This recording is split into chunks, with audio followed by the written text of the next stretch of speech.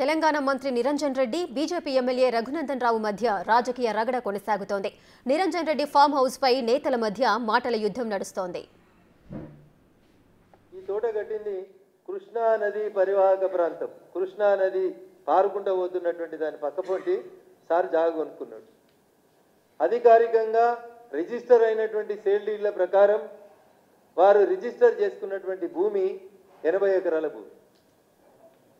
వారు అధికారికంగా రిజిస్టర్ చేసుకున్నటువంటి భూమి ఎనభై ఎకరాల భూమి. కాంపౌండ్ వాళ్ళు పెట్టింది సుమారు నూట అరవై ఎకరాల కాంపౌండ్ వాళ్ళు పెట్టింది. ఆరు మీటర్ల ఎత్తు కింద నదిలోంచి కాంపౌండ్ వాళ్ళు లేపుకుంటూ వచ్చారు. ఆరు మీటర్ల ఎత్తు లేపి ఇక్కడ ఉన్నటువంటి పొలానికి సమానం చేసిరు చేసి దాన్ని మొత్తం మట్టి ఫిలప్ చేసి వ్యవసాయ సబ్సిడీలు హార్టికల్చర్ సబ్సిడీలు ఈ రాష్ట్రంలో పేద చిన్న సన్నకారు రైతులకు రావాల్సినటువంటి సబ్సిడీలు మన కాంపౌండ్ లోపల ఎన్నెన్ని తీసుకున్నాం? మీరు ఆశ్చర్యపోతారన్న. సుమారు మూడున్నర ఎకరాల సీసీ రోడ్లు వేసిరు లోపల. మంత్రి గారు ఫామ్ హౌస్ కట్టుకున్నటువంటి మండలంలో ఇరవై ఐదు అక్టోబర్ ఇరవై ఒకటవ సంవత్సరంలో ట్వంటీ ట్వంటీ వన్లో తహసీల్ ఆఫీస్ తగలబడ్డది.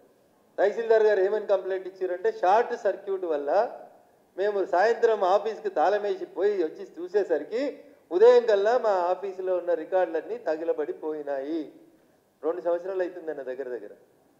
ఇయ్యాలడి దాకా ఛార్జ్షీట్ వేయలే కనీసం పోలీసు వాళ్ళు కాబట్టి గౌరవ మంత్రి గారు ఏమనుకున్నారంటే ఆర్టీఎస్ కోసం ఎక్వైరీ చేసిన భూమి అని చెప్పి ఎవరికి తెలుస్తుంది?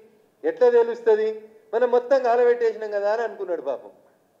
అన్నాడు ఎవడో తెలియకలు కొన్ని పాహానీలు తీసిపెట్టుకున్నాడు పంతొమ్మిది వందల యాభై నాలుగు నుంచి ఇప్పటిదాకా ఆఫీస్ తగలబడేదాకా కొన్ని సర్వే నెంబర్లు కొన్ని పహానీలు తీసిపెట్టుకున్నాడు లేదు రఘునందన్ రావు పంపించిన ఈ పుస్తకాన్ని మీకు నచ్చిన మీడియా మిత్రుల దగ్గరికి వెళ్ళి తీసుకొని సంబంధిత జిల్లా కలెక్టర్తో మాట్లాడి దీంట్లో వాస్తవం ఉందని నిరూపణ అయిన తర్వాత మీరు సంబంధిత మంత్రి గారి మీద గతంలో ఈటల రాజేందర్ గారి మీద అంతకుముందు ఇంకొక మంత్రి గారి మీద తీసుకున్నట్టు వీరి మీద కూడా చర్యలు తీసుకోవాలని భారతీయ జనతా పార్టీ పక్షాన డిమాండ్ చేస్తా ఉన్నాం.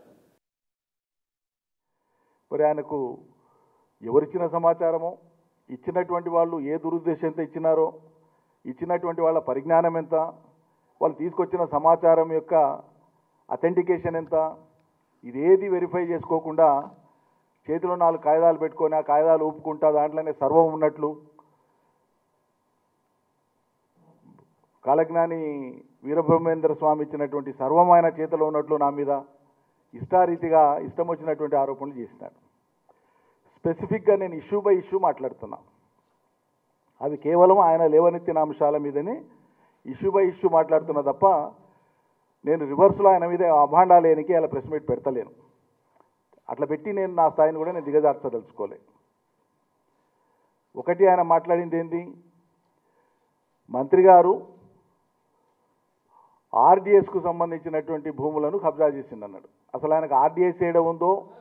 శ్రీశైలం ముంపు ఎక్కడుందో పరిజ్ఞానం లేకుండా మాట్లాడింది అనేది మొదటి మాటకు నేను జవాబుగా చెప్తున్నా.